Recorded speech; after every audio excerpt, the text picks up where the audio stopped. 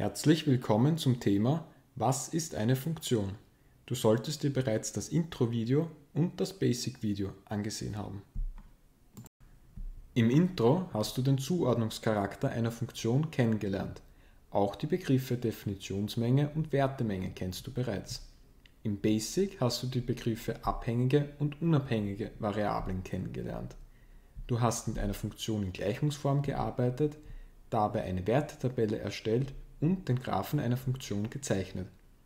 Falls du dir in ein paar Punkten noch unsicher bist, sieh dir bitte die Videos erneut an. Im Mastery kannst du dich beweisen. Keine Sorge, ich stehe dir zur Seite. Es gibt eine ganze Menge von Funktionen und jede sieht anders aus. Es gibt Geraden, Kurven, Wellen und noch viele mehr. Jetzt beschäftigen wir uns nur mit geraden Funktionen. Du hast bereits gelernt, wie man zu einer Funktionsgleichung den Funktionsgraph zeichnet. Kannst du auch zu gegebenen Funktionsgraphen die richtige Gleichung finden? Zwei der fünf Gleichungen sind falsch.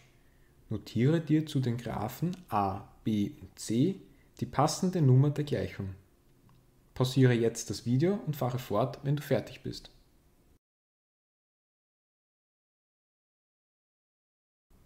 Also vergleichen wir. Der erste Graph a zeigte die Funktion mit der Nummer 1. Der zweite Graph b gehört zu der Funktion mit der Nummer 5. Der letzte Graph c zeigte die Funktion mit der Nummer 4. Die Gleichungen mit den Nummern 3 und 2 sind falsch. Hast du alle richtig? Super, gratuliere. Falls du nicht alle richtig zugeordnet hast, kein Problem. Ich verrate dir ein paar Tipps. Sehen wir uns den ersten Graphen gemeinsam an. Dieser schneidet die y-Achse bei dem Wert y ist gleich 2. Das heißt, wir lesen den ersten Punkt des Graphen ab, P1 mit 0 und 2.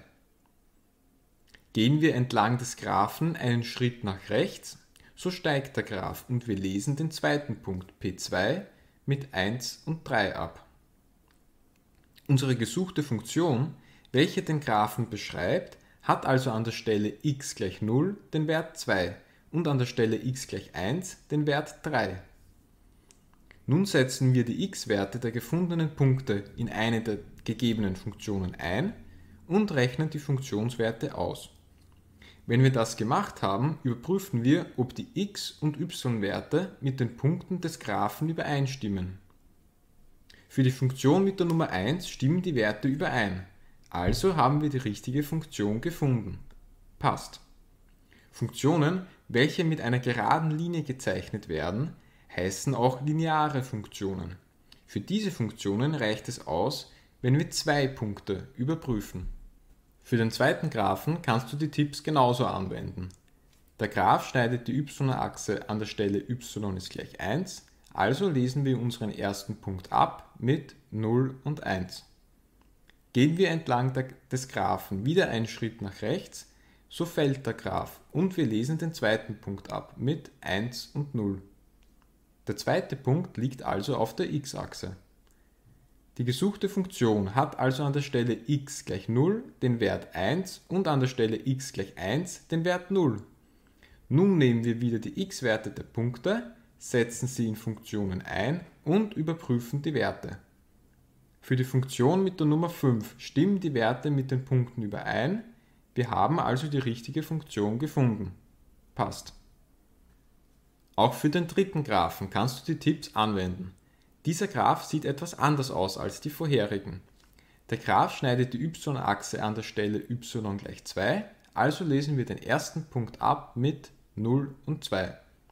Gehen wir entlang des Graphen einen Schritt nach rechts, so bleibt der y-Wert gleich. Wir lesen also den zweiten Punkt mit 1 und 2 ab.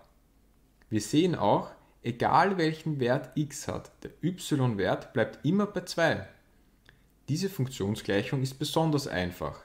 Die gesuchte Funktion ist die Nummer 4. Darin kommt kein x vor.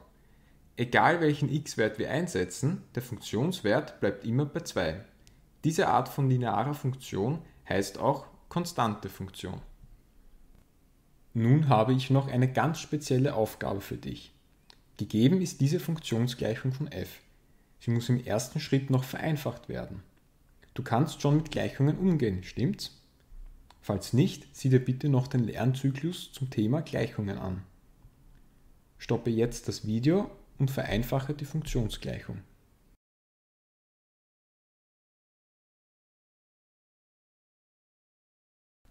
Ich habe die Funktionsgleichung auch vereinfacht. Kommst du auf dasselbe Ergebnis? Super. Falls nicht, schreibe dir jetzt die richtige Lösung f von x ist gleich minus x minus 1 auf. Beim Rechnen kommt die Punktrechnung vor der Strichrechnung. Du musst darauf achten, zuerst 3 mal 5 zu rechnen und dann das Ergebnis 15 zu subtrahieren. Du kannst dir einen Überblick verschaffen, indem du die x und die Zahlen nebeneinander schreibst, so wie ich in der Zeile 2. Im zweiten Schritt möchte ich, dass du eine Werttabelle für die x 0, 1, 2 und 3 aus der Definitionsmenge erstellst. Verwende dafür die vereinfachte Funktionsgleichung. Stoppe jetzt wieder das Video und fahre fort, wenn du fertig bist.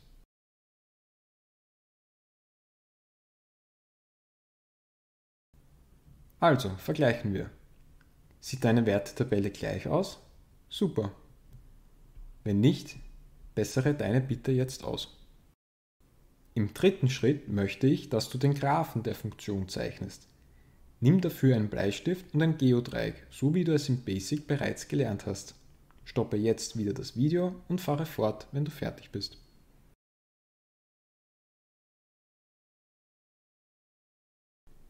Der Graph von f schneidet die y-Achse an der Stelle minus 1 und geht von links oben nach rechts unten.